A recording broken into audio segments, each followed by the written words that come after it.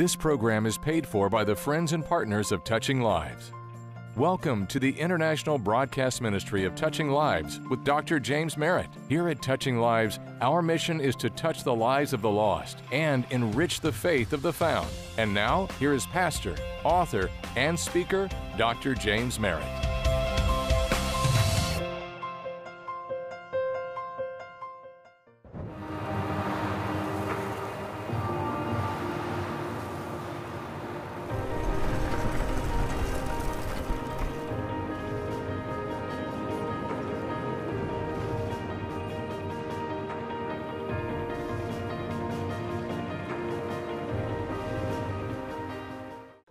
Talk about a topic today that, frankly, most churches today won't touch. They, they don't talk about it, you never hear it mentioned. It's a word that's very rarely heard in the church anymore. I listen to a lot of, we used to call them preachers, now we call them communicators. And I listen to a lot of communicators. I never ever hear a communicator talk about what I'm going to talk about today. They never ever use this word.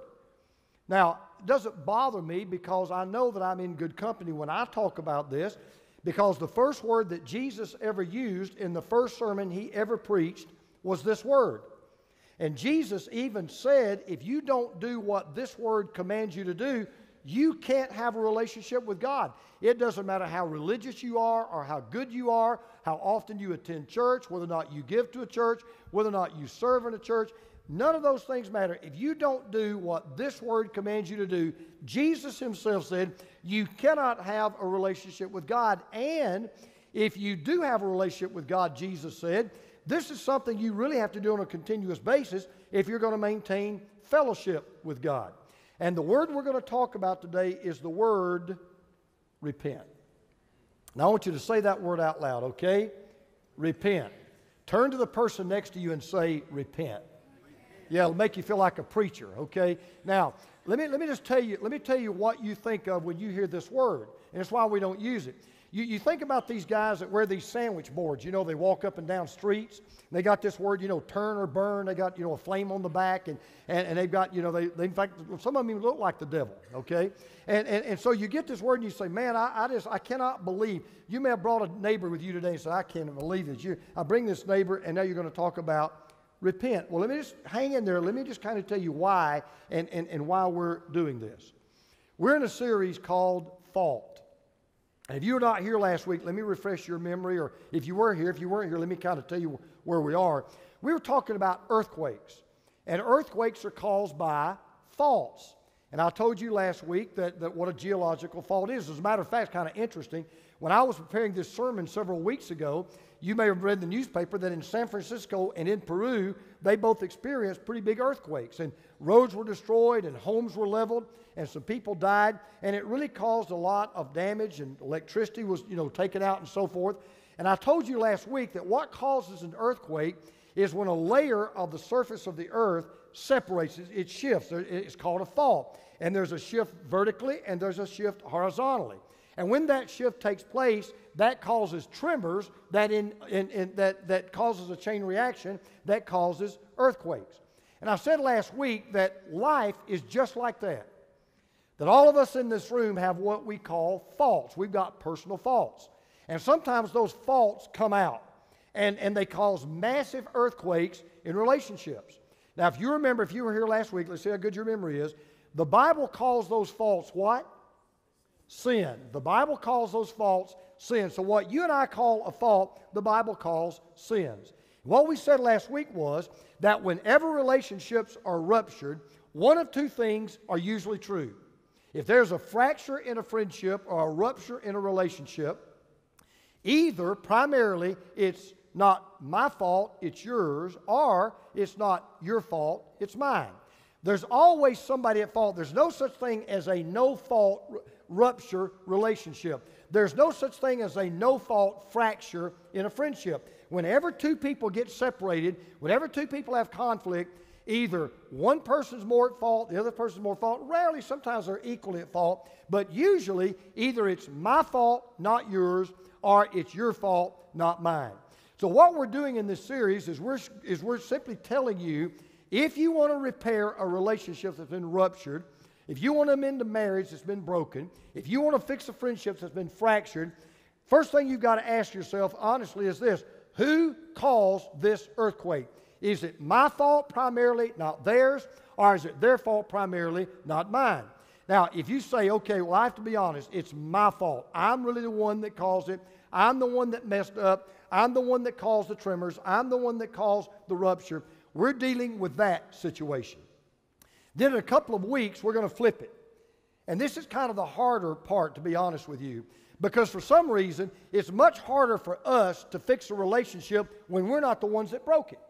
When it's their fault, not ours, here's the attitude we take Hey, buddy, I didn't break it. I ain't going to fix it. You broke it. you fixed it. I'm waiting by the phone. Give me a ring. Okay? I'm not approaching you. I'm not the one that caused it. I'm not the one that made us separate. I'm not the one that caused this rupture. You did it, and I am waiting on you to fix it. We're going to find out in a couple of weeks that is not the way that relationship is to be prepared. That said, last week we said that when we sin, when the fault is ours, when we've done the wrong thing, we said the first thing we've got to do is start at the epicenter. If you weren't here last week, let me just tell you what the epicenter is. The epicenter of an earthquake is where an earthquake begins. Where an earthquake is felt is not necessarily where an earthquake begins. Because, for example, we told you back in February when Atlanta had an earthquake, you remember that. The earthquake didn't start in Atlanta, it was just felt in Atlanta. The earthquake actually started in South Carolina. That's where the epicenter was. We said, likewise, every time there's a rupture in a relationship, it's our fault. We're the ones that did it. We're the ones that broke it. We're the ones that caused the separation. We said last week that every fault always begins with our relationship to God. Because anytime you ever sin, anytime you ever do anything wrong, even if you hurt someone else in the process, it's always first against God. So we said that the first step you've got to take to correct a self inflicted sin is confession.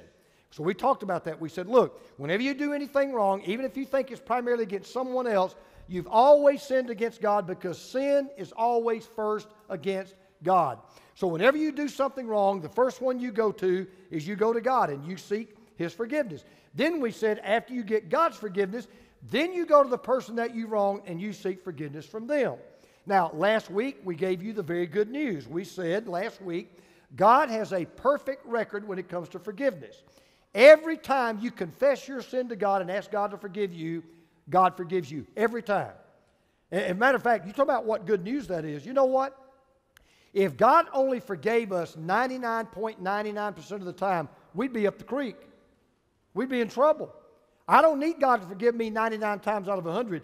I need God to forgive me every single time. And we said last week if we confess our sins, God is faithful and just to forgive us of our sins and to cleanse us from all unrighteousness. Here's the problem. The problem is, too often when we do things wrong, when we hurt other people, here's the way we usually handle it. We'll say, God, I realize I hurt my wife. I realize I hurt my friend. I realize I hurt this person. God, I'm asking you to forgive me. I'm sorry. Would you please forgive me? And we kind of stop there. Well, that won't take care of the problem. Or we'll go to God and say, God, I've sinned. I'm sorry. I messed up. Would you please forgive me? And we'll go to the other person and say, I messed up. I'm sinned. I'm wrong. Would you please forgive me? And we think that will solve the problem, but it doesn't.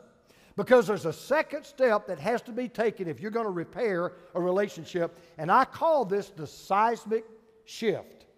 Now, a seismic shift is when there is a shifting in the rock so great, in the layer of the surface so great, it doesn't just cause an earthquake, it causes a massive earthquake. And there is a seismic shift that has to take place within us and with us and with our sin if we're truly going to maintain our fellowship with God, if we're really going to have a relationship with God, and that is in the word repentance. Now, before I really get into this, let me just tell you one other thing. Here's why I'm talking about this topic. Here's the number one reason why. Jesus gave the church a job to do. If you're not a, if you don't know much about the Bible, I'm going to use a term we use in church. It's called the Great Commission. You don't need to remember that word. It's simply the job description that Jesus gave to the church. And just before Jesus went back to heaven, he said, This is the church's number one job. If you don't do this, you're out of business. Your number one job is to share the gospel of Jesus Christ all around the world with anybody that's willing to hear it. Go and make disciples of all the nations. Go share Jesus. All right, so we know that. Those of us that go to church, yep, heard that many times. That's our job. However, what a lot of us don't realize is Jesus not only told us what our job is, He told us how to do it. He even told us the message that we're to take to the world. And in, and, and Luke, of, of all the Gospels, Luke alone records the exact content of the message that Jesus has commanded us to preach. So if you want to know what our message is, the number one message in the church, here it is. Jesus commanded in Luke 24 47, listen to this. And that, what's that word? Well, let's say it real loud. Repentance. All right, so this is what Jesus, not what I'm saying, it's what he said. Jesus said, I want repentance and forgiveness of sins to be proclaimed in my name to all the nations, beginning from Jerusalem. Now, this is one of the things that kind of sets us a little bit apart. You can go to any church in Atlanta today, almost any church that halfway even preaches the Bible. And there are a lot of churches that preach the Bible. I'm not throwing down on any church. You go to any church in Atlanta today, one thing you'll probably hear, most likely, They'll talk about Jesus as the Savior of the world. Jesus died on the cross. Jesus paid for our sins. And if you'll ask Jesus to forgive you, He will forgive you. You'll hear that in almost any church. But you know what you won't hear in 99% of the churches today? You won't hear that word right there. Never hear it. I listen to, I listen to communicators all the time. Never hear that word. It is never even mentioned. And yet, if I'm going to preach what Jesus preached, I have to preach repentance. And so there may be some preachers out there that are going to be listening to this message later on. So let me just kind of kind of put you on hold for a minute and just say a word to all my fellow preachers out there. If you're not preaching repentance, you're not preaching what Jesus told you to preach. You're not preaching what Jesus told you to preach. One of these days, I've got to give an account as to what I preach in this book. To every sermon, I've got to give an account. And if I don't reach repentance, one of these days, Jesus is going to look at me and he's going to say, You know, James, you talked about forgiveness and you talked about grace and you talked about love and you talked about mercy, but you never talked about repentance. And I believe I even put that first. So when I preach on repentance, I'm just doing what Jesus told me to do, okay? So if you don't like it, take it up with him. I just want to be there when you have the conversation, okay? Now, look, here's what we're going to do. If you brought a copy of God's Word this morning, or you've got an iPad or a tablet or whatever you brought, I want you to, eh, eh, you know, turn to a book in the Bible called Second Corinthians. Right after First Corinthians, it's about eight or nine or ten books past Matthew, okay? I want you to turn to Second Corinthians chapter 7. Because what we're going to do today is we're going to study a situation that illustrates exactly what repentance is and exactly what repentance does. Because you, I owe it to you, if I don't do anything else today, when you walk out this door, you need to understand what repentance is and why Jesus said it is such a big deal. Now, as you're turning to, by the way, if you didn't bring a copy of the Bible, no, no problem. We'll put the verses up on the screen in just a moment. Let me give you the background of the story. Paul founded this church in Corinth. By the way, I'm going to Greece next year. Some of you are going with me. I'd love to have a lot of you go. It's a great trip. One of the cities that we'll visit is the ancient city of Corinth. Paul founds this city in uh, this church in Corinth. And, and, and, but but the, a problem came up. There was a man that had committed a very, very serious, egregious sin. And, and, and the problem was the church didn't deal with it. The church kind of stuck its head in the sand and just hoped the, church, the problem would go away and they wouldn't deal with it. Well, it upset Paul. And so Paul, Paul wrote a letter to this church. It's in 1 Corinthians. And Paul said, I got a problem. You've got sin in the body, you're not dealing with it. Sin in the body is like cancer to a body. You've got to get rid of the cancer. You've got a man in your church and you know he's living in sin, a very terrible, egregious sin. You know it, the community knows it, insiders know it, outsiders know it, and you're not dealing with it. And because you're not dealing with it, you've now become a part of the problem. And I'm telling you, you have a biblical responsibility to take care of this problem. And he rebukes the church because they hadn't taken care of the problem. Well, he hadn't heard back. He did not know whether they had responded or not or done what they were supposed to do. So he sends a protege by the name of Titus. He said, Titus, I can't go. I want you to go for me. Find out the lay of the land. See if they did what they I uh, asked them to do. See if they're even speaking to me anymore. I mean, Paul did not know. He didn't know maybe he just kind of blown everything up in his relationship with him. Well, the good news is they had dealt with it. And in dealing with it, they give us a model on how sin is to be dealt with in the right way if we're going to deal with our faults correctly. So let me just say this this is who I'm talking to this morning. If you're in a relationship that's been ruptured, you're in a friendship that's been fractured, and you know it is your fault, or at least a big part of it is your fault, you've got to ask yourself two questions this morning. Number one, does this relationship mean enough for me and to me for me to do whatever I need to do to fix the problem? Now, if the answer is no, you can check out. You can get on your iPad and just, you know, check yesterday's Georgia score. It's a great read, okay? But if you want to do that, that's fine, okay? You don't need to listen to me. However, if you're saying no, I really want to know how do I fix this relationship? I'm the one at fault, or at least I've got a lot of the fault. How do I fix it? That's the first thing I'm asking. The second thing is, do you want to fix it right?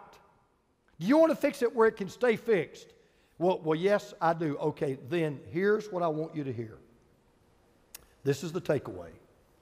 When we turn to God, we turn from sin.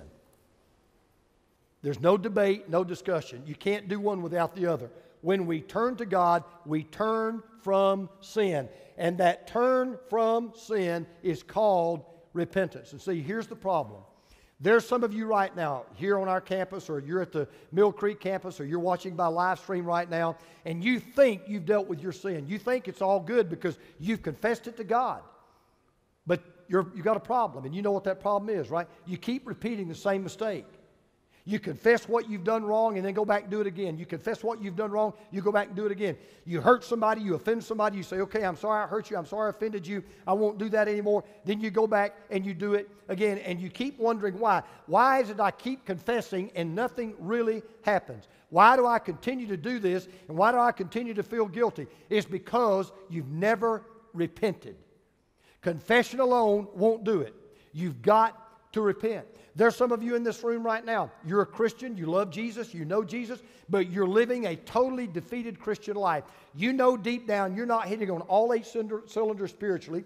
You know deep down you're not getting all out of the Christian life you ought to get, and God's certainly not getting all of out of you He ought to get, and you can't kind of figure it out. And the reason why is you've never experienced this seismic shift that's the only real remedy for your fault. Let me illustrate it to you this way. If you're going down a street and you decide you're going to turn off that street, no matter whether you turn right or left, I don't care. If you go down a street, if you turn left or right, the moment you turn onto one street, you just turned off the other street. You can't turn onto one street and stay on the other street. You turn on one, you got to get off the other one. Same thing is true with God. You cannot come to God and say, God, I'm coming to you today, but I'm holding on to my sin. If you get off one street, you got to get off the other. You can't stay on the same street. So the question is, how do you do that? How do you repent? What does that mean? All right, here we go. Ready? Boom, here we go. Number one, we must truly realize our sin. That's step one. We've got to truly realize our sin. Now, Paul does the church a big favor. They didn't like it at the time, but Paul knows what I know and what you need to know. And that is when somebody's living in sin. I'm talking about a brother who says, I don't mean somebody you know that's lost because they ought to be living in sin. That's what they do, right? But if you know a, a brother or a sister in the family of God and they're living in sin, somebody that claims to be a Christian, Paul says, you do a loving thing when you go to that person in humility, but in love, and you confront them and let them know exactly what they've done. That's what Paul did. Paul goes to this church and he said, Look, I'm your spiritual father. I led many of you to Christ. I helped form this church. I helped to get you started. And I'm telling you right now, you are not doing the right thing. There is sin in the church. You've not dealt with it. You've got a biblical responsibility to deal with it. I am asking you to deal with it, and I'm going to tell you exactly how to deal with it. Well, as I told you, he was kind of afraid. I burned bridges. They've gotten mad. They're not speaking to me. They've rejected me. They turned their back on me. So he sends Titus. Titus says, Hey, good news, Paul. They, they not only love you, they know they did wrong, they've done the right thing, they corrected the problem, and they want you to know they can't wait to see you again, right? So far, so good. Then Paul says something very strange to this church, real strange. Listen, verse 8. For even if I made you grieve with my letter, that's the, the letter he wrote in 1 Corinthians, I don't regret it. Wait a minute, let me get this straight. You made them sad and you made them mad, but you're happy about it. I don't regret it, all right? Though I did regret it, for I see that that letter grieved you, though only for a little while. Now that's kind of odd. Paul says, You know, it bothers me that I really made you cry, but not really. It, it bothered me that I broke your heart, but I got over it. Took me a half a baby aspirin to go to sleep. It re- really did not bother me at all. You say, well, okay, what was Paul saying? Here's what he was saying. He was saying, you know what? He said, grief and sorrow are signs of a broken heart. And he said, It is a wonderful thing that when you sin, you have a broken heart. Let me tell you why this is such a big deal. When we sin, we ought to have a broken heart for one reason because our sin breaks the heart of God. And Paul said, even though it hurt me to hurt you, it actually made me glad that you were hurt. And let me tell you why. Because the fact that you were hurt, the fact that you were grieved, the fact that you sorrow tells me you realized your sin. You realized what you had done was wrong. You realized it was sin. You realized you'd committed sin. And that is a good thing. And let me tell you why that's so important for us. This, this is a little bit deep, but listen. When the concept of sin is diminished, the practice of sin is increased. When the practice of sin is increased, the guilt and the shame over sin disappears. Now, I don't know whether you realize this or not. I've lived long enough to see it. We're living today in a culture where, by and large, shame and guilt over sin has become basically a thing of the past. Someone someone as well said, Sin that used to sneak down the back alley now struts up the main street. Why is that? I told you last week. because sin is no longer a sin. Sin's a mistake. Sin's a faulty judgment. Sin's a miscalculation. You may have seen it this week. I was watching, uh, uh, uh, there's a, a manager. I'm not here to throw down on this guy. I'm praying for him. But there's, you may have seen him. There was a manager of a Major League Baseball team that, that resigned this week for personal reasons. They didn't know why. He calls a press conference on Thursday. I'm watching his press conference. Man gets up and he says, uh, Look, I'm not going to take any questions, but let me tell you why I've resigned as manager of this baseball team. And he said, This is his words, I have broken, he'd been married to his wife 40 something years. He said, I have broken trust with my wife. Now I'm sitting here watching this and I'm going, Hey man, okay, you're on the right track, man. You're on the right road. Anybody want to take a guess what the next thing words out, what next words were out of his mouth? What do you think he said? I made a mistake. I wanted to throw my shoe at the television. Dude, you didn't make a mistake. You sinned. You broke a commandment. You sinned against God and you sinned against your wife. We don't do that anymore. And when we fail to realize what sin is and call it sin, we also lose the power to properly ask for forgiveness of sin. That's why we don't even know how to apologize in our culture anymore. Listen, you don't apologize for a mistake. A mistake's a mistake. You apologize for sin. And that shouldn't really surprise anyone because until you realize sin for what it is and call it what it is, you will never take the proper steps to get forgiveness and have your fellowship with God restored. And by the way, I, I, let me just be honest. I know there's some of you out there right now, and you're struggling with a stronghold in your life. You're tired of the guilt trip you're on. You confess your mess, you fess up to your mess up, but you keep messing up. And you just can't seem to get off this, this, this, this treadmill of temptation, and you keep going back and doing the same thing. Well, step one is you got to confess it for what it is. Lord, this is a stronghold in my life. I need you to help me break this in my life, or else you'll never get on the road to redemption. So, step one is we got to truly realize our sin. All right, step two we must sincerely regret our sin. We realize our sin, then we regret our sin. Now, I'm going to say something I know is very obvious. There's something desperately wrong with somebody that can hurt people and it doesn't bother them. These terrorists over there, that are, these, these gutless cowards that are beheading people over there in Syria. In a way, I feel sorry for them. I'm going to tell you something. A man's to be pitied that can do what they're doing and go to sleep at night and not, not bother them. They can eat and, and, and, and, and think they're doing God a favor. I mean, that's really kind of a, a sad situation. And anybody would say this if you're, if you're a normal person with a normal conscience and you do something wrong, you ought to feel sorry about it. But then Paul does something that's so unusual and so amazing. He said, You know what? There's actually two kinds of sorrow over sin. He said there is a type of sorrow that leads to the freeway of forgiveness, But then there's a type of sorrow that leads to a dead end to death. Now listen to what he says beginning in verse 9. He says, As it is, I rejoice, not because you were grieved. He says, I'm not sorry that you were sorry. I'm glad you were. But because you were grieved into, what's that word? Repenting. For you felt a godly grief. We'll come back to that in a moment. For you felt a godly grief so that you suffer no loss through us. For godly grief, there's that phrase again, produces what? A repentance that leads to salvation without regret, whereas worldly grief produces death. Now, Paul says something that a lot of us have never thought about. There's a big difference between worldly grief and godly grief, worldly sorrow and godly sorrow. Now, let me give you an illustration here, and I want all of us to be honest, okay? All of us be honest right now. Have you ever, looking back in your life, have you ever been caught, ever, doing something that you should not have done? You were caught doing something wrong. Listen. But you weren't sorry that you were doing what you were doing. You were sorry that you got caught for doing what you were doing. Now, can I get a witness to that? Hold your hand up. And if you don't hold your hand up right now, you are a liar. You're lying through your teeth. Okay? Everybody in this room would say that. Everybody in this room, you can think back. There was a time you were doing something wrong. You knew it was wrong. No doubt it was wrong. You got caught, but you were not grieved and hurt and sorry and sad because you got caught doing the wrong thing. You weren't sorry because you were doing the wrong thing. You were sorry because you got caught.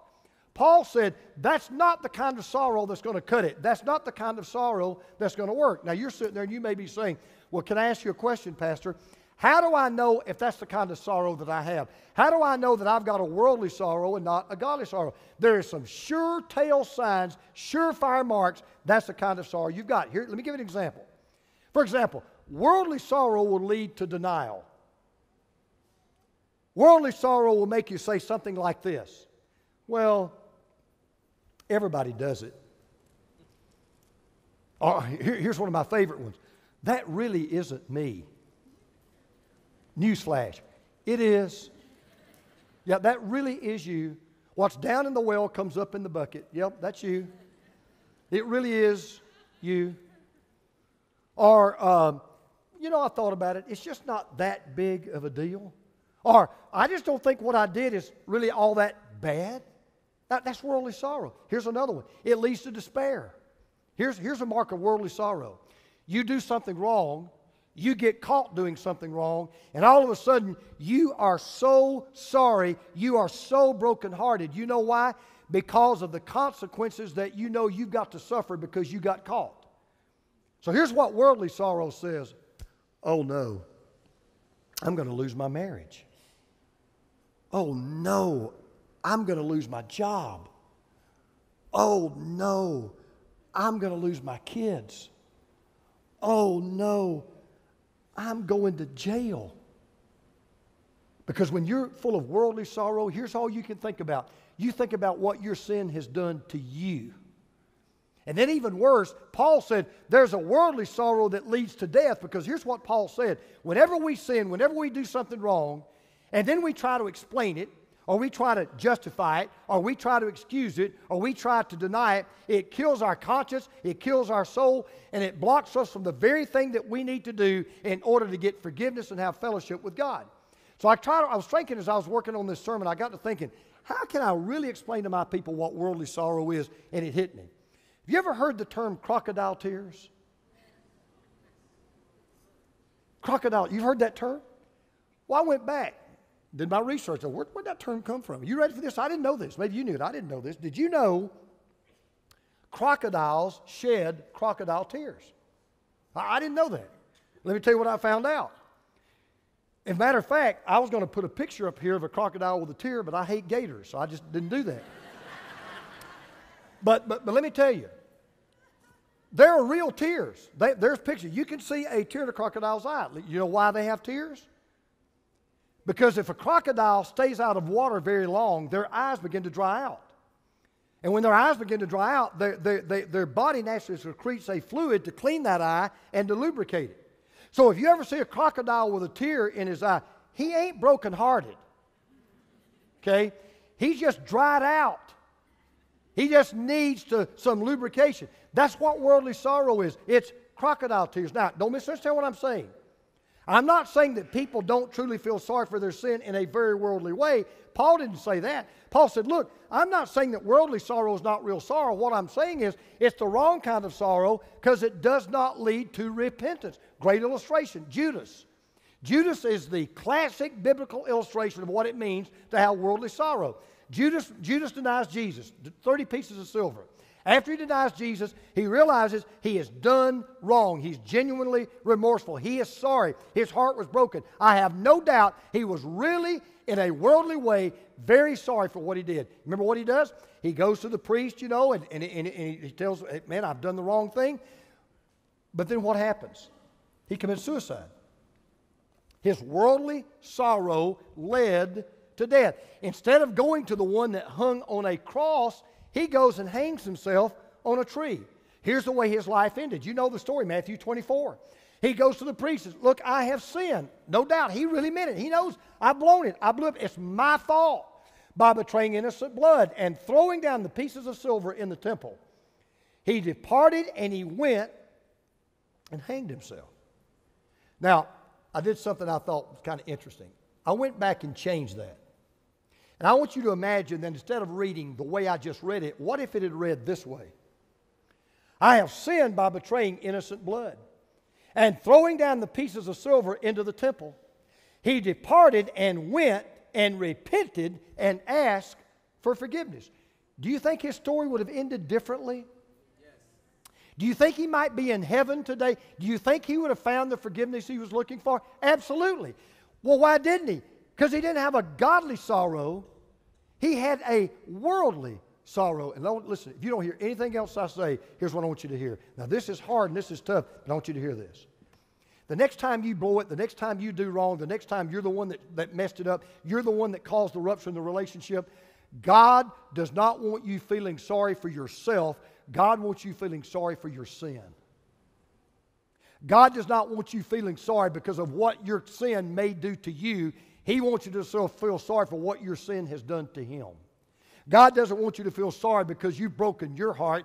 He wants you to feel sorry because you've broken His heart. That is a godly grief. In the original Greek language, it means an according to God grief. See, worldly grief has you as the focus, godly grief has God as the focus. So let me put it to you this way worldly grief says, oops, I broke the law. Godly grief says, oh God, I broke your heart. Worldly grief says, what's going to happen to me? Godly grief says, God, what have I done to you? And there's a difference between tears that leave you where you are and tears that move you where you need to be. Now, I'm going to skip over a couple of things because I, I want to kind of get to this third point because there's one last thing we have to do. And that is, we must fully repent of our sin. We must fully repent of our sin. I'm going to, get this real brief. Listen up. There is something wrong with people. We've already said this. They do wrong to people, they feel no remorse, no regret, no shame. But we've already said now there are two different kinds of sorrow. There's a divine sorrow and there's a deadly sorrow. Paul says, All right, let me remind you of the difference. He says, For godly grief produces repentance that leads to salvation without regret, whereas worldly grief produces death. Now, this is where you've got to really hang with me because if this is a big deal to Jesus, and it is, if it's a big deal to us, and it ought to be, then I want you to walk out of here in a moment and truly understand what repentance is. So if somebody were to come up to you and they were to say, Hey, I want to repent, but I don't even know how to do it or what that means. I want you to be able to explain exactly what that is. Because there are a lot of you that don't even understand repentance. You think you have and you haven't. So let me give you an example. Repentance involves or includes conviction. You, you got to realize that you've sinned. However, you can be genuinely convinced you've done wrong and convicted that you've done wrong, but that's not repentance. Repentance involves confession. Yes, if you're going to repent, one of the things you have to do, we've already said you've got to confess. However, you confess, you can confess openly, you can confess publicly that you've done wrong, but if that's all you do, that's not repentance. Repentance involves contrition. Yes, you ought to feel sorry when you've done wrong. There ought to be a, a you ought to, there, there ought to be a broken heart within you. You ought to really feel sorry that you've done wrong. However, you can genuinely feel sorry and be grieved over your sin. You can say, "I'm so sorry I hurt you. I'm so sorry that I caused this fracture." But that alone is not repentance. Okay, you ready? Repentance always involves change.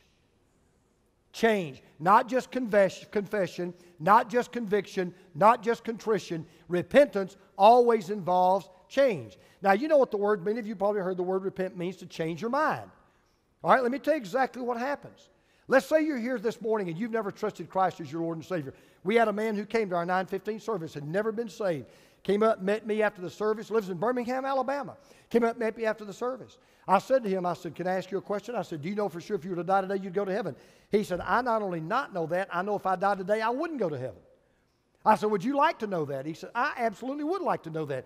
And one of our men out there led him to Christ, you know, right after the service. What happened to that guy? He changed his mind. He changed his mind about God. He changed his mind about Jesus. He changed his mind about his sin. He changed his mind about himself. He changed his mind. But it's not just a solely intellectual issue. Judas changed his mind. He said, I've done wrong. I thought I did right, but I did wrong. Well, then what happened to him? Why did he die when he didn't have to die? Because even though he changed his mind, he never changed his heart. We've already seen it's, it's, it's, it's, it's an emotional change. You, you can feel sorry for your sin. But, but you don't just regret what you've done, you regret to whom you've done it to. It's not a worldly grief that's self centered, it is a godly grief that is God centered. You don't grieve because of what it may do to you or the consequences you may suffer, you grieve because of what it's done to God. But here's what I want you to hear real repentance involves a spiritual change. Because you say, well, how do I know if I've really repented? It's real easy. When you change your mind and you change your heart, you'll change your direction. When you change your mind and you change your heart, you change your direction. You do an about face, you do a 180. Just like Jesus said to the woman caught in adultery. You remember what he said to her? I don't condemn you. Really? Nope, you're forgiven. Wait, wait, time out. Don't leave. Go and sin no more. What was he saying to her? Repent. Don't, whatever you did that brought you in here, don't let me see you in here again. You repent. If you've really, if you're really sorry for what you've done and God's really worked in your heart, there will be a change of direction in your life. So I'm going to wrap all this up by talking now to two different groups of people. There's some of you in this room right now, and you think you've done everything necessary on the outside to make sure you're right with God. You go to church or you joined a church, you've been baptized, you, you grew up religious, you are religious, you, you work in the church or you have worked in the church, you've given money to the church or you give money to the church, but there's something that bothers you. And you know what bothers you? There's never really been a change in your life. You signed a card, you jumped in the baptistry, you did this, you did that, you do all the right things you need to do, you, you, you need to do today, but somehow you know in my life there's never been a real change. I know what your problem is. You've never repented. And then there are others of us in this room, and, and, and really, you do love Jesus. You do know Jesus, and you do want to live for Jesus, but here's your problem. You've got this little pet sin, and you kind of keep it hidden in a closet. Maybe it's pornography, maybe it's greed, maybe it's bitterness, maybe it's lust, maybe it's your temper, maybe it's your impatience, maybe it's your cold indifference, maybe it's your sex life. Maybe it's your social life, and you want to hold on to that sin. You want to kind of keep that on a leash, and it's our pride that keeps us from going to someone. Or maybe you've wronged someone, and you know you've wronged someone, and you know you've never really truly asked forgiveness in the right way. You've never gone to that person. You've not just said, I'm, by the way, saying I'm sorry is not an apology. Let me get that straight. That is not an apology. Here's an apology. Is when you go to someone and you say, this is exactly what I've done to you. I did this, this, this, and this. I am telling you it's wrong. I'm not only asking God to forgive me, I'm asking you to forgive me. And with the grace of God, I am never going to do that again. That is an apology. That's repentance. And some of us have never done that. And the reason why, even though we're Christians, even though we are, even though we know the Lord, we're not experiencing the joy and the freedom and the excitement we ought to have is because we refuse to repent. So here's what I want to ask you to do. This is cheesy, but just bear with me. Everybody take out an imaginary mirror right now and just hold it right in front of you. Okay, everybody do that. You got a mirror, you're looking yourself in the mirror, okay? Here's the question I want you to ask right now. You're looking yourself in the mirror. Here's the question I want you to ask right now. Is there anything that I need to truly repent of in my life in order to have a 100% uninterrupted fellowship with God? Is there anything in my life I need to truly repent of in order to have a 100% uninterrupted fellowship with God? So if you're here today and you're not, you've never trusted in Christ as your Lord and Savior, I am not going to stand up here and simply tell you, all you got to do is just quote unquote believe in Jesus and you'll be good to go. There are a lot of people who believe in Jesus who are not good to go because there's two sides to that coin. Faith is one side, repentance is the other. When you turn to, you turn from. So here's what I'm going to say, and then we're going to say amen. Don't be like the wife that I read about. And before she, gave, before she supposedly converted to Christ, she was just hellacious to live with. She nagged her husband. She berated her husband. She criticized her husband. She put her husband down. She just sucked all the life out of him. She came home from church one day and she said to her husband, I have become a Christian. He was so excited. He was so pumped. He said, Man, this is awesome. Things have got to get better. The only problem was nothing changed. She kept nagging him and she kept berating him and she kept putting him down and she kept criticizing him. And finally, one day, he looked at her and he said, You know, I don't mind that you've been born again. I just wish you had been born again as yourself.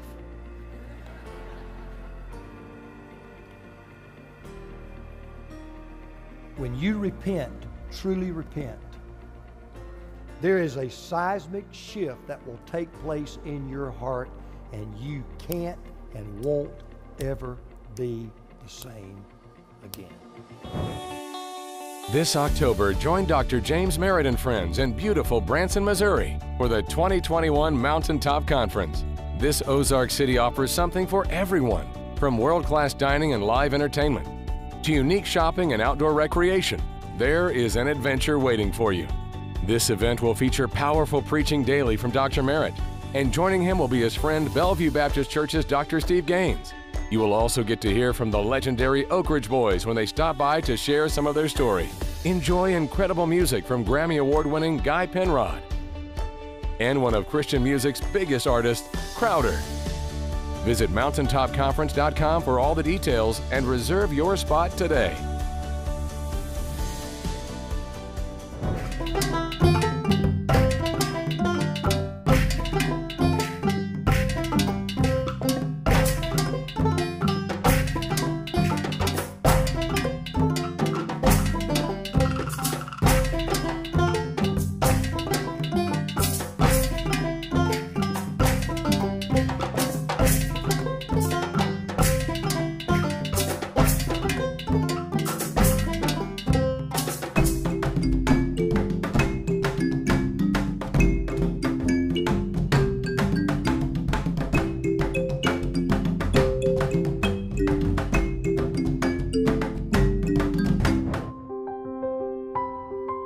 Touching the lives of the lost and enriching the faith of the found. This is Touching Lives with Dr. James Merritt. This broadcast is made possible by the grace of God and your faithful prayers and gifts.